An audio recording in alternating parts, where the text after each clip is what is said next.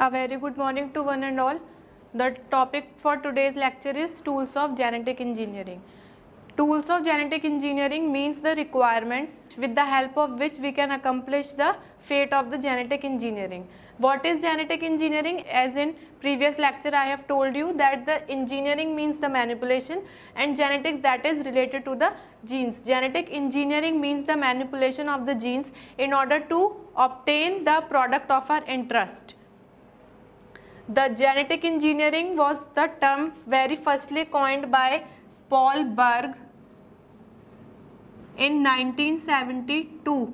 Since then, this scientist Paul Berg was known as the father of the genetic engineering. After the introduction of the term genetic engineering, there came a number of advancements in the field of genetic engineering. A number of scientists contribute in the field of genetic engineering with the help of their respective inventions. For example, a number of enzymes were, dis were discovered and invented by number of scientists restriction enzymes that were being discovered by Lin and Arbour, DNA ligase that was being discovered by Gellert.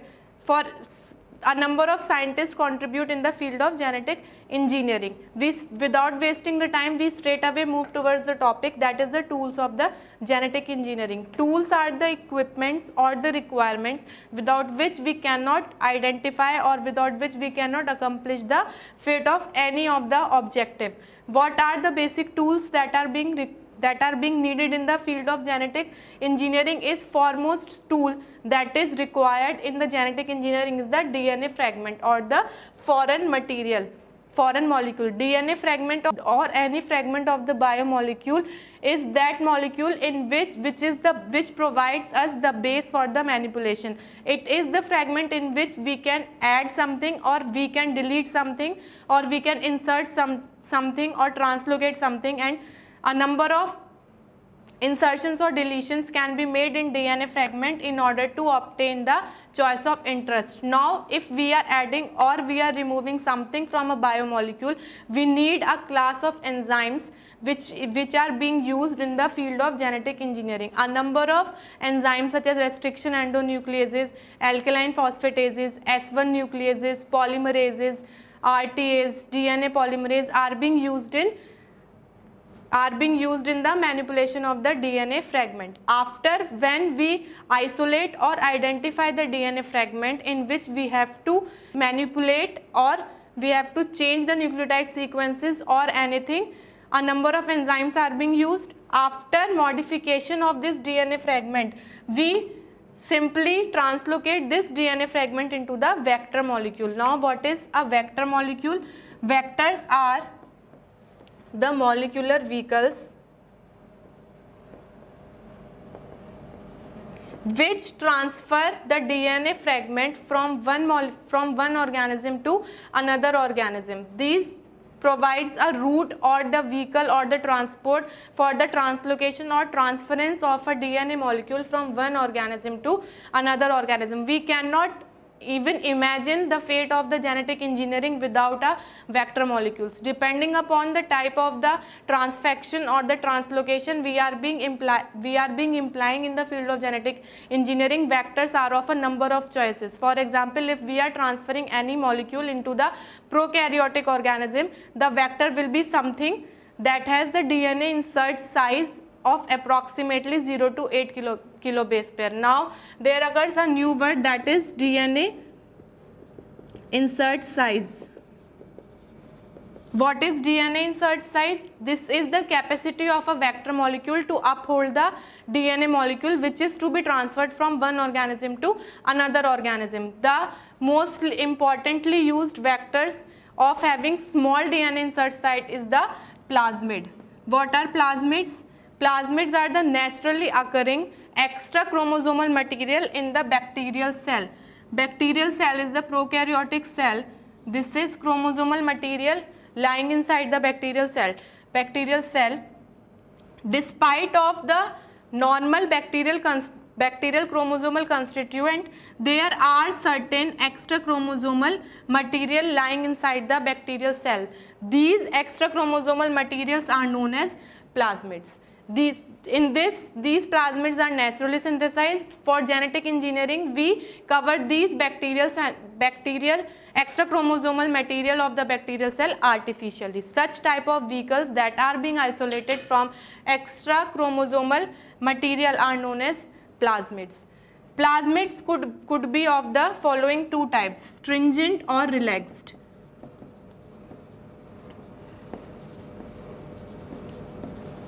Stringent plasmid और relax plasmid on the basis of the maintenance of their copy number now what is copy number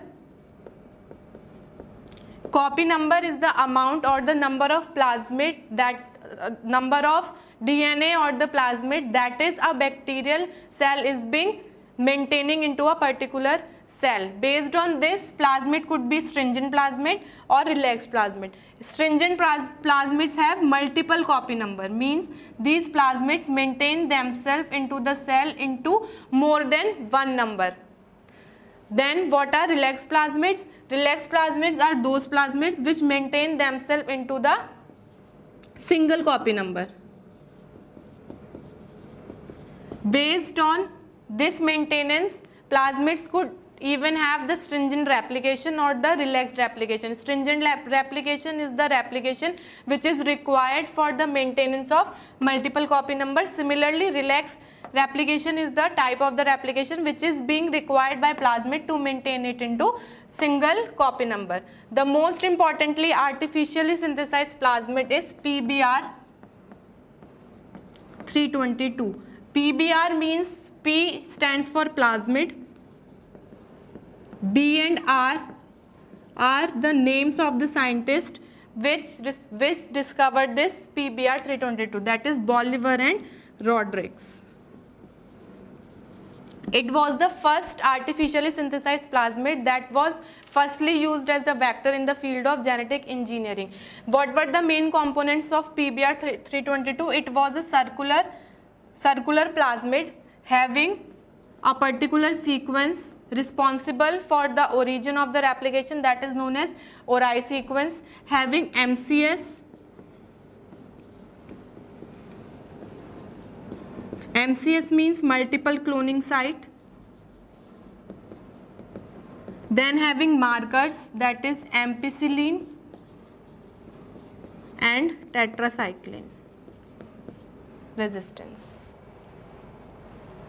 what is the significance of ORICE? These are few sequences which are mandatory in the case of each and every vector. Without these sequences, we cannot synthesize vector in artificial, artificial state. What is the significance of ORI sequence? ORI sequence is the specific sequence which provides the site for the replication of the origin that is responsible for the maintenance of plasmid in the as stringent plasmid or as the relaxed plasmid based on the number of the copy number in which the plasmid is maintained in the cell. Ori sequence, what is MCS? Multiple cloning site. This is the site that is being activated by the help of the restrict specific type of restriction endonucleases. Then we have selectable markers. What are markers? Markers are the DNA sequences which provides a particular landmark in the field of genetic engineering. These for in layman language we can say that Markers are the milestones. Ampicillin resistance and tetracycline resistance marker, this, this marker will be resistant towards the action of the antibiotic ampicillin and this marker will be resistant for the action of um, antibiotic tetracycline. Then what are cosmids?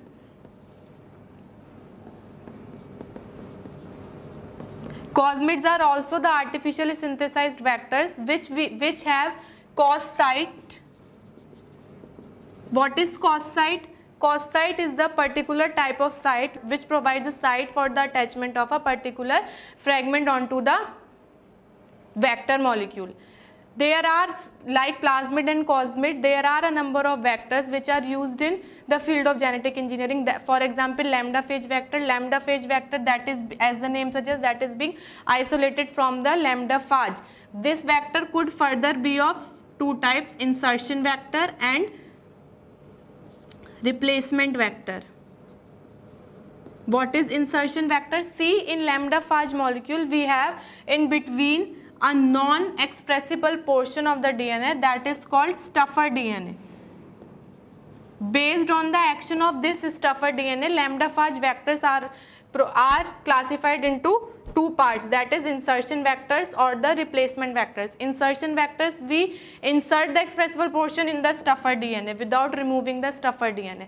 And what is replacement vector? We very firstly remove this stuffer non-coding DNA from the lambda phage vector and then we upload our host foreign DNA molecule into the vector molecule.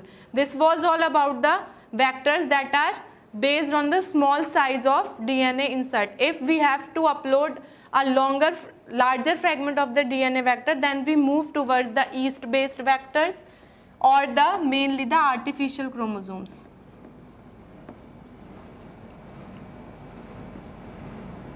Artificial chromosomes are the vectors which have the DNA fragment size comparatively larger than the plasmid, lambda phage and cosmid vectors. Artificial vectors are of the following types BAC vectors, YAC vectors, MAC vectors, PAC vectors. BAC stands for bacterial artificial chromosome. YAC stands for yeast artificial chromosome.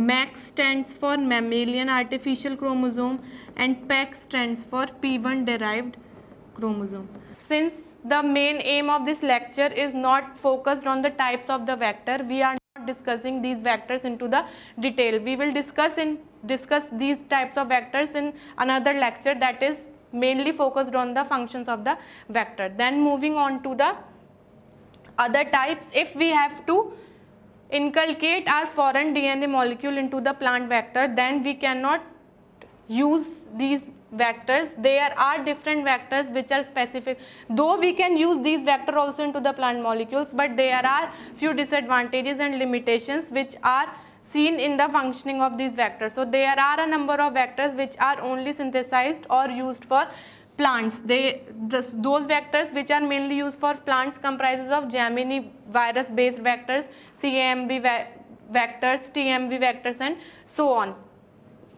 After upholding the DNA molecule into the vector molecule, we upload this vector molecule into the host cell. Now what is host cell? Host cell is the organism in which we have to check the expression of the protein of our interest. That is this the host molecule provides the base or the platform for the practicals of genetic engineering in which we can check the expression of the desired product. One more thing that is responsible that is mainly focused in the field of genetic engineering is the relationship between the host molecule and the vector molecule. If in some cases vector molecule is not being accepted by the host molecule then there is no use of such whole process of the genetic engineering. So it is being mandatory to focus about the host molecule keep what type of vector we are using, what type of DNA it is being holded and what type of host we are choosing for the practical that is being used in the genetic engineering. After upholding the vector molecule into the uh, host molecule, this procedure of transferring of vector to host is known as transfection molecule, transfection technique. This method is maybe also of two types. Either this molecule may inculcate into the DNA of the host molecule and replicate simultaneously with the host molecule. That is, as the host molecule replicates, the DNA molecule which we have uploaded with the help of vector will replicate with the host molecule. Or in other case, it may be possible that the, the DNA, foreign DNA can, could not inculcate with the host molecule and it maintains its independent replication in the host molecule. After transferring into the host molecule, we check the expression into the host molecule that is if what type of DNA we have transferred and that DNA is being is making the particular type of protein that we are that is the choice of our interest. After expression we screen out the desired protein with the help of a number of techniques such as HART with the help of cDNA libraries with the help of genomic DNA libraries with the help of colony hybridization and all. If we obtain the product of our interest that is our the uh, mo- main motive of the practical of the genetic engineering is accomplished. But in case if we do not obtain the product of interest we have to repeat the whole process starting from the first point that is from the isolation of dna fragment.